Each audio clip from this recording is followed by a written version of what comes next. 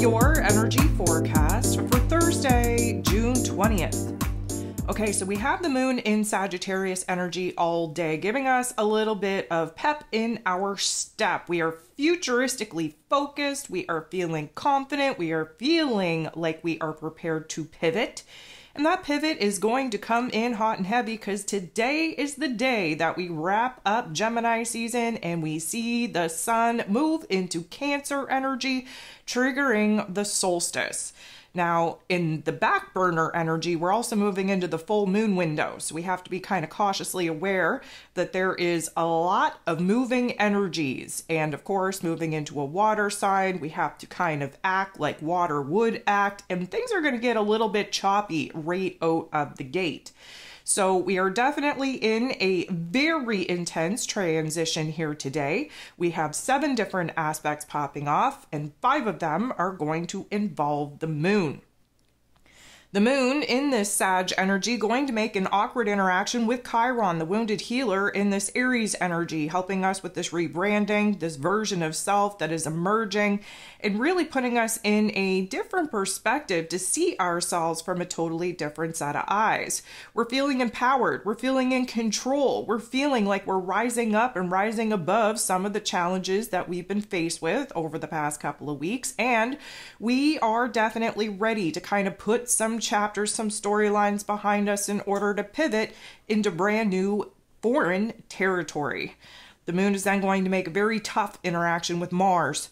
Mars being the god of war, ruling over our physical energy, our drive, our passion, our desire is in the Taurus energy, a low, slow, steady pace to really kind of gaining a different perspective on where it is that we're at, where it is that we want to actually arrive at, the plan, the path, the strategy needed in order for us to get from where it is that we're at to where it is that we desire to be.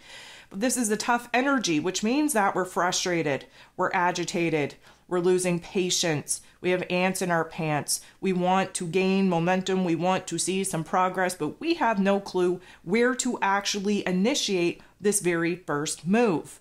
The moon is then going to trine, beautiful interaction with the north node in Aries energy. This is some fire on fire energy that is going to help us kind of burn through the cords of attachment to the past, regenerate a pep in our step, inspire and excite us to actually make a change and make some progress moving forward. We have the ability to see that the challenges that we've been faced with are actually opportunities to grow. 2:12 p.m. Eastern Standard Time, the sun in the final degrees of this Gemini energy is going to square off with Neptune in his place of power in this Pisces energy. I am going to recommend that you take a listen to the Ascension forecast for this week if you haven't already, and even if you have, maybe take a little bit of a refresher listen because these squares that we have popping off here this week, we already had Venus and Mercury square off with Neptune prior to them entering into Cancer energy. Now the sun is doing his thing by entering into the boxing ring and seeing where some tension, where some conflict is alive and well. This is going to present us with some challenges, with a unique perspective on where it is that we're going through it right now in order for us to grow, in order for us to evolve. Yes, it's going to be confusing. Yes, it's going to be intense. Yes, we're going to have a crisis point emerge because we're questioning our worth, our purpose, our goals, how it is that we're going to get from where it is that we're at to where it is that we desire to be. We are low on energy. We're lacking inspiration. We're lacking motivation. We just know that we don't want to do this anymore.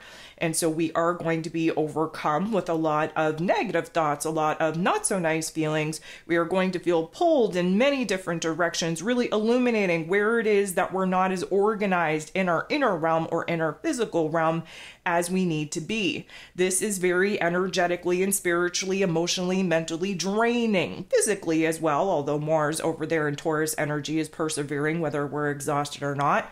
This is going to highlight our ability to see where it is that we're lacking inspiration and imagination, where it is that we have to tap into new creative force energies in order to get on with it, to initiate a new path, a new goal, to initiate what it is that we need to do from here in order to close the door on some very important but challenging chapters that have kind of catapulted us into this new version of self.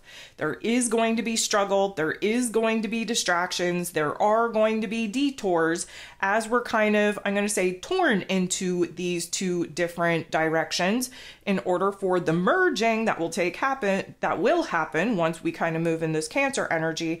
We're waiting for that merging point, that wholeness point to actually take place.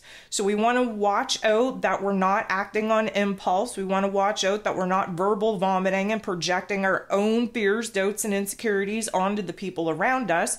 Because, of course, the moon is going to go ahead and make a positive interaction with Mars shortly thereafter, kind of us out of that bunk, really putting us in a more powerful situation to see where it is that we do have the opportunity to boss up, where we do have the opportunity to see a step that we could take in the here and now to break away from the old timeline, the old chapters, the old behaviors, and actually kind of lean towards something different, something new.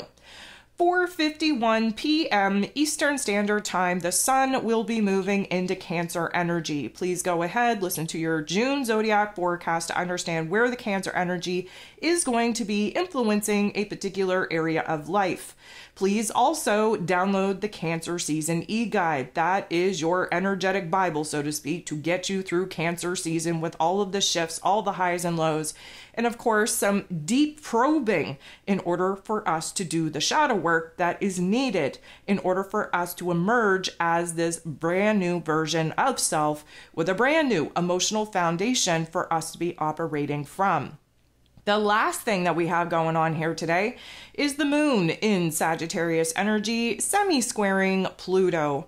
The semi square is a mild tension, a little bit of a conflict with Pluto, the great transformer himself, who of course is retrograde in this Aquarius energy, highlighting the power struggle within. The moon in this Sag energy has us futuristically focused, but of course, we have to really understand what is blocking us from actually pivoting onto a new path, into a new direction, into a new timeline. And spoiler alert, it is old fears, old doubts, old insecurities that the old version of self has yet to let go of. We are definitely going to explore that realm of attachment and being overly attached to aspects of the past as we dive into this Cancer season.